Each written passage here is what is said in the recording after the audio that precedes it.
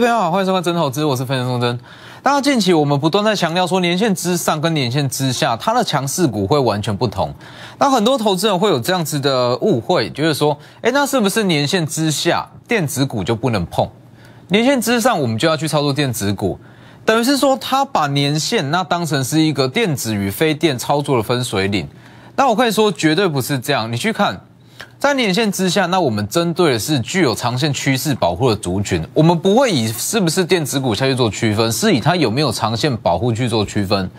所以你去看，除了像是风电、像是太阳能以外，包括像网通，网通是不是电子？网通是电子，而且是很热门的电子。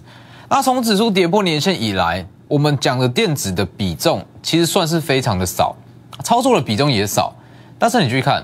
今天整个网通族群其实可以算是说整个台股里面最强势的一群。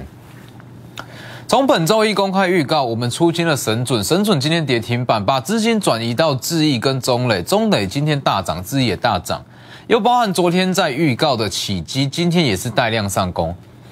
所以其实你说年线它是不是非电与电子股的分水岭？绝对不是，它是一个市场心态的分水岭，就是说可能在年线之上。哦，那一些本呃基本面跟产业的趋势，它可能会变得说不是这么的重要，因为市场信心够。但是当指数跌破了年线，那整个市场信心度不足，产业的趋势性就会变得说非常的重要。好了，今天还有一个重点就是下周，下周非常的重要。那甚至可以说，下周是你手上被套牢的持股能不能顺利解套的关键。各位去回想一下，我们在三月底，那我有提供过一张表格，一张完整四月份的规划表。来，先看这张，这一张我们在三月底就已经提供了，我放在我的 Lighter 跟 Telegram，大家一样都可以加入去看。好，当时有讲过嘛，在这期间四月份的前三周，每周都有新的标股，全力拼绩效。不论说大盘怎么走，不论大盘怎么走，每周都会有新的标股，因为资金它会持续去扩散。那你去看。就算指数在年线之上或跌破年线之下，我们都有可以操作的标的。好，那当这三周过了之后，进入到下一周来这里，四月份的最后一周，也就是说第四周，下周，下周就是绿蓝色这一条量缩整理，等待利率结果。所以你去看。今天成交量稍微在下滑，那你说接下来一周会不会再下滑？绝对会，而且它会呈现一个量缩整理的格局。好，所以这一周其实就是让你去做做一些短线操作，跟顺便调节你的持股。好，那如果说第呃四月份的最后一周，你是你要知道说我们是要去调节持股，那把一些获利的股票把它获利出场，把资金抽回来之后，这里这两天五月呃五月三号跟四号。五月三号跟四号，我们去布局五月五号过后全新的标股，因为就像我讲的，我们从年初那就不断在想讲相同的议题，但今年，今年会有八段不同的行情，每一段行情都是全新的开始，因为今年会有八次利率会议，那这八次利率会议之后，市场心态会变，市场资金会变，强势的股票也会变，所以你可以把它视为是一段全新的行情。哦，所以四月、五月的五月三号跟五月四号，我们就是提前去布局五月五号过后的行情。好，重点来了，为什么我会说下周是套牢股票解套最后的机会？也不是说最后的机会，是说最好的机会。来，你去看，就刚刚好，非常的凑巧，在下周，下周比较重要的法说会有这几这几项。六二零二的盛群，二三三七的旺宏，二四零九的友达，三五四五的敦泰，联电、联发科。好，你去看哦。盛群它是 MCU 的代表，旺宏是机体的代表，友达是面板的代表，敦泰是面板驱动 IC 的代表，联电是成熟制程代表，联发科它是消费性电子的代表。好，那这几个有什么共同点？大家再去回顾指数跌破年线之后，我提供给各位的一张表格。我把整个台股一千七百多张股票分类成趋势产业跟非趋势产业。那在下周这些重要的法说会，它全部都属于非趋势产业。来去看这张表，年限之下，我们要去做这样去做区分来。成熟制成、面板、DDI、记忆体、各式各样消费性电子，这是属于非趋势的产业。一旦有反弹，逢高一定要卖掉。来下周，下周的法说会是不是刚刚好完全符合这一块？来，你去看，成熟制成、联电、面板、友达、面板驱动 IC、敦泰、记忆体、旺宏，各式各样消费性电子，盛群、联发科。所以其实，在下周，很多叠升的股票有机会都出现一波强弹，主要就是受惠于它的法说会，因为其实这些股票它都算是这些族群里面的龙头代表之一。那龙头代表之一，我相信啦，法说会它基本上都会试出利多哦，他也不愿意看着自己公司的股价不断破底嘛，所以他还是会试出比较正面的消息。那比较正面的消息试出来之后，这些股票整个族群都有机会反弹。包含记忆体，包含面板，但是反弹归反弹，就算是试出短线上的利多，它也无法扭转它长线向下的趋势。这就像记忆体，记忆体在二月份也是试出非常多利多啊，涨个没几天就往下跌，短线上的利多没办法改变中长线的趋势，所以在下周。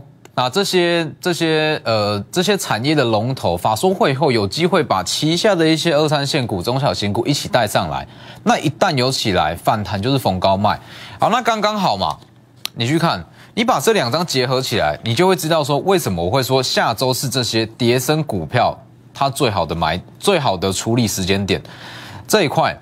好，那刚好在下周。就是我们在三月底就讲过的，预计会量缩整理，等待利率结果。所以在下周一旦说这些股票反弹上来，逢高卖，把资金抽回来之后，五月三号、五月四号，我们转进全新的行情。所以这刚刚好是一个很完美的衔接。逢高卖，卖掉之后把资金抽出，资金抽出来之后，全新的行情就即将展开。所以其实这样一连串操作下来，那我会觉得说，如果说啦，就是说手上有。这些比较非趋势性的产业，那想要加速解套的速度，或者说由亏转盈，下周就是一个很重要的时间点哦。所以如果手上有这些股票，一定就是利用下周，下周这些大型呃大型龙头股的法说会逢高去把它做卖出。好，那当然说卖掉的资金要去哪里？那就像我讲的，其实整个指数它在年线之下，它还会持续一段时间。哦，除非有什么真的说非常大的利多啦，哦，否则指数说要一举站上年线，难度还是有。那既然是这样，指数它会在年线之下进行说年线之下的扩散效应，就像我所说的，因为现阶段资金不足，哦，联储会不断在升息，那资金不足的情况之下，年线之上有属于年线之上的扩散效应，年线之下当然也有。那就像这些，来这些族群。在年限之下，资金它一样会在这一块下去做轮动轮涨，电动车、绿能、先进制成跟一些像是网通相关的股票。那像今天。我们离岸风电跟太阳能大约是操作两周左右，那它的涨幅都大约是两到三成左右。世纪刚上尾投控，甚至包含东远，这些都是。还有像是元金，好，那当它涨了两三成左右，今天稍微在转弱，那我们就先把资金获利出场，把资金转移到新的属于年限之下其他的族群。所以年限之下，它一样有属于年限之下它的扩散效应。那跟着这样扩散效应去走，其实。你说指数在什么位阶？其实它的落差不会到这么的大。你说指数在什么样的位阶？那跟你的获利幅度有没有关系？其实说真的是没有太大的关系。哦，你说盘势不好，盘势疲弱，我赚的会变少，这是一个迷失，这是一个假议题。就像我说的嘛，只要说任何的位阶里面，它都有属于不同位阶的强势股，针对这一块强势股下去做买进，不管指数在哪里都有的赚。顶多只是说操作难度的不同，但是操作难度的不同，绝对不代表说获利幅度的不同。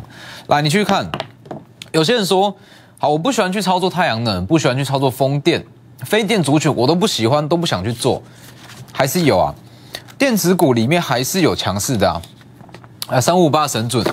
三五八神主，我们从四月一号就一路讲嘛，当时就预告很清楚，四月份的营收有机会创新高，三十趴左右，在本周一四月十八公开预告这个位置，我们是出清所有持股，哦，任何部位全部都出场，短线的高点，最主要是说神准它在今年的获利高峰预计会落在第二季，所以当时本周一四月十八出清持股，来去看今天是不是跌停板？今天三五五八的神准直接跌停板，出清之后它还有高点哦，但是我完全没有去没有去理它，今天直接跌停。那当时在本周也有讲过嘛，神准出清的股票，那我们是把资金转移到，因为网通这一群都是持续看好，哦，网通这一群，它因为说去年没有因为疫情影响出现获利爆发，所以相对你说其他的一些科技类股、IC 设计，它的高峰可能是落在去年的第四季左右。那网通刚刚好相反，它的谷底是落在去年第四季，今年刚好是倒吃甘蔗，所以整个族群长线都是看好。但是如果说以个股来讲，它会去轮动，一档涨完，好，可能说它的空间不大，它会转到基期更低的。所以当时在本周一讲得非常清楚，深圳我们出现之后，把资金转移到位阶相对更低的智毅跟中磊。智毅三五九六智毅，这位置讲嘛，四月十八，应该说这一段这一段我们都有在讲，它是不会受到大盘的影响。这一段四月十八讲完，四月十九往上涨五趴四点七，昨天再涨五趴。今天再涨四趴，是不是最高到一百三？所以这就是我说的啊，这个位置它难免来。说一档股票再怎么好，它难免会受到大环境的影响。但是，一旦说大盘稍微的回稳，它就直接拉上去了。不论说在这个位置任何的价位去买进，今天都是赚钱的，是不是？所以，其实，在年线之下，一定有属于年线之下的操作方式。那就像我讲的，其实说这一段时间。当指数跌破年线以后，四月初过后，那我们就是围绕在特定几个族群，网通、先进制程、电动车、绿能，就围绕在这些族群里面。那你可以看到，标股确实也都是出现在这些族群中。那这就是我说的嘛，很多事都是一体两面，尤其是股票市场，你说会上涨的股票变少了，没有错。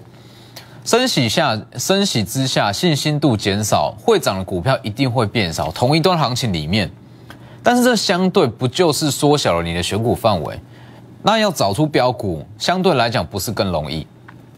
所以像是智毅就是一个很好的例子。那包含像是中磊也是哦，这些我们都有公开讲。中磊，中磊我们也是一路这样的分段操作上来。五三八八的中磊这个位置往上拉，四月十九号，当时有讲过嘛？把神准的资金，把神准的资金抽出来之后。神准资金抽出来之后，那转到智易，接着再转往向是中中磊。中磊昨天在讲四月二十号星期三上涨，昨天在特别强调中磊它的位阶相对也比较低。今天是不是大涨九趴以上？这个位置任何价位去买进，通通都是赚钱。所以其实，在年线之下，那你说是不是所有的电子股都不能碰？那如果说我不喜欢风电，不喜欢太阳能怎么办？绝对不是这样。绝对不是用非电跟电池下去做分类，而是说这项产业它是不是具有趋势性？那如果说它有长线的趋势在保护，法人就敢去大买。中磊今天就马上创高，今天盘势不好，成交量也在下滑，而且整个盘面结构是比较凌乱，中磊它照样创高。那除了像是中磊以外，如果这个位置买进全部都赚钱，是不受大盘影响，包含像起基也是。来六八五的起基，昨天有讲过嘛？公开预告四月二十号，八十元以下都是一个非常便宜的价位。本身在今年的获利就不错。今天是不是带量上涨两趴以上，而且是收最高，直接往上拉？起基它也是很标准的一档网通类股，缺料缓解，又加上它是低轨卫星的路由器，在全年展望一样是倒吃甘蔗。所以其实经过这样下来，你可以发现到。就算是说好，我们不去做风电，不去做太阳能，电子类股里面还是有非常多可以操作的股票，所以这个东西是相对的。你说大盘不好，操作空间不大，确实操作难度也比较高，没有错。但是相对来讲，我们挑到标股的几率反而会提高，因为范围缩小了嘛。不就网通、先进制程、绿能、电动车，就这些在选而已。那原本说可能说在年线之上，哦，年线之上整个市市场信心度很好。那有机会上涨的股票，可能在同一段行情里面一千档以上，但是当市场信心度不足，在同一段行情里面有机会上涨的股票，可能只剩下五百档。那我们就针对这五百档下去做挑选，我们的操作难易度是不是反而会比年线之上还要来得高？所以为什么你说大盘在这样子的位阶，你可你去看，大盘在这样子的位阶。不但说技术面疲弱，甚至成交量在下滑，整个操作空间是很小。但是我们可以从风电、上尾投控、世纪钢、东元，那一直到网通、智易、中磊、神准，再一直到起基，一档档赚，关键就在这里，因为我们是针对属于年线之下的股票下去做买进，跟上下一档，利用广告时间直接来电，先进段广告。所以就像我说的，其实每一段行情都有属于不同行情的标股。你说就算了，万一万一大盘在破底，往下再跌破，会不会有再会上涨的股票？绝对有。哦，再差的行情里面，一定都会有特定的强势股存在。除非是像像说疫情刚爆发这类型无差别式的下跌，否则在一段正常的行情里面，就算是金融海啸好了，就算是金融海啸里面，还是有特定一群会上涨的股票。可能是食品，可能是原物料，这些都是。所以其实，尤其是在现阶段这样子的盘势，受消息面影响非常严重。那你去研判说指数会怎么走，说真的没有意义，而是要去看说指数在什么样的位阶，它会去涨什么样的股票。那你可以发现到，其实市场信心比较充足的情况之下，那很多的东西你看起来都不是说这么的重要，就像产业。产业趋势跟一档个股的好坏，跟它的获利高峰，如果在市场信心度非常充足的情况下，整个大环境很好，其实你不会感觉出它的重要性。但是当指数跌破了年线，整个市场信心度不足，各式各样利空在冲击，指数非常震荡，这个时候你会看出说一档股票、一间公司它产业趋势的重要性。否则为什么会说指数跌破年线之后，我们就绕在网通、先进制程这部分下去转？又为为什么说好像神准？我们在本周会出清，因为像这样子的盘势之下，个股的激起它就会变得非常重要。所以我这两大平台，Lighter 跟 Telegram ID 都是 W 一七八 V 一七八，记得要先加入，非常的重要。在我这两大平台，我会告诉你说每一个阶段市场资金到底在想什么。那我会用一个比较大的格局的方向去跟你做分析。就像我会在强调，你要去看每天市场的资金他在想什么，不是去看单一的单一的个体，不是说单看投信，单单看什么券商分点，单看外资，你是要去看说每天两千五百亿到三千亿之间的成交量，这些资金群体思维在想什么，是不是？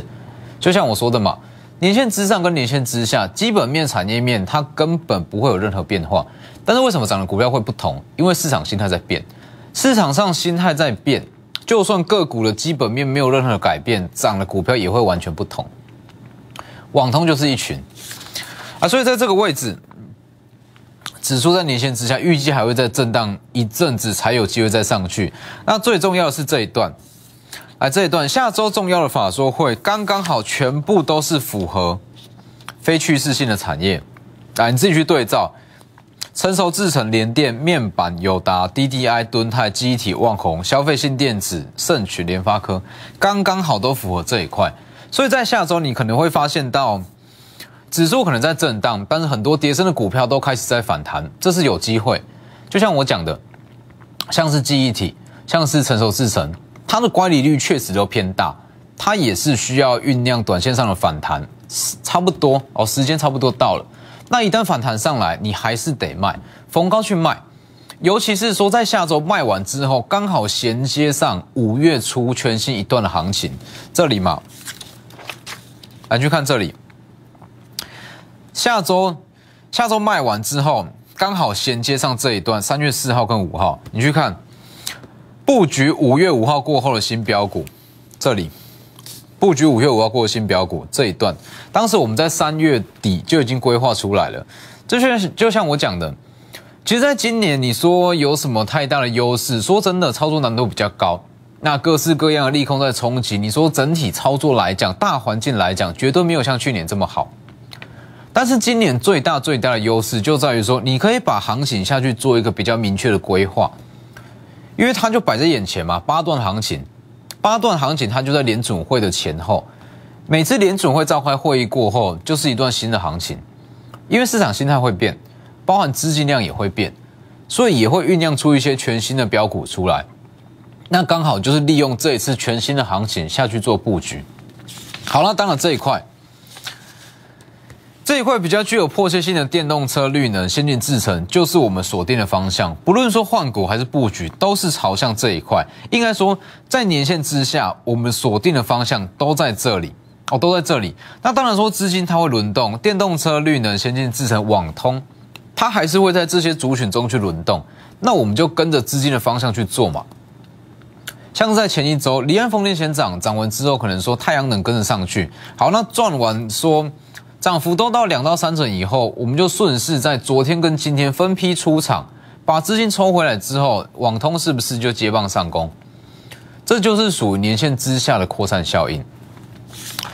所以，当指数在年线之下还没有站上年线以前，这一张表全部都适用哦。否则，你可以去看为什么指数在年线之上，我不会去做这样子的分类，因为不需要啊。指数在年线之上，整个市场信心度比较足够。比较足够的情况之下，其实产业跟基本面，甚至说一些获利数字，相对来讲，它的重要性不是说这么的高，因为市场信心度够，那可能说技术面稍微转强，站上月线什么的，那只个股就喷出去了。但是在之下不一样，所有的法人他风险承受度会降低，所以他会更去考虑说长线的一个展望是如何。所以包含像先进制程也是，升两半。当时有讲过嘛，先进制程这一块也是在今年绝对具有迫切性的趋势产业。八零二八的升阳半这个位置，应该说这一段都开始在预告。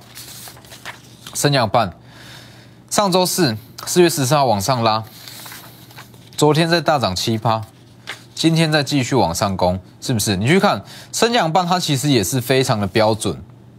哎，这个位置。大盘在震荡，难免会受到受到牵连，但是一旦大盘稍微止稳，就马上攻上去。所以其实在这个时间点，那产业的趋势性它会变得说非常的重要。你如果说整个市场信心跟整个大环境很好，那单纯去看技术面，单纯去追股票，这我没意见。但是如果说盘市面对到比较震荡的情况，比较震荡的氛围，其实还是要去考量到说，应该说这个东西它有一点算是以守为攻，以退为进。哦，你说有一些看似啦，看似说好像它的题材没有到这么新颖的一些个股，但是反而在年线之下，法人就偏爱买这种。华兴就是，包括一些离岸风电、太阳能这些都是，它的题材不是说非常新颖，但是偏偏它却具有比较长线的后盾在保护。所以像中磊也是，中磊来去看，其实中磊它就像我讲的一样。这个位置你买进，难免会受到震荡，但是大盘稍微止稳，它就马上，大盘都还没有回到起跌点，中磊已经回到起跌点，起基也是这个位置，好，难免会受到大盘震荡，一旦回稳，直接就回到起跌点，三五九六字也是直接往上拉，这个位置买，不论说大盘在什么位置买进，全部都是赚钱。所以把握机会，下周是这些套牢股票解套最佳的时机，刚刚好衔接到五月三号跟四号最佳的买点。不知道持股怎么处理，直接来电或私讯我的两大平台。今天节目就到这边，谢各位。摩尔证券投顾零八零零六六八零八五。本公司与所推介分析之个别有价证券无不当之财务利益关系。本节目资料仅供参考，投资人应独立判断、审慎评估，并自负投资风险。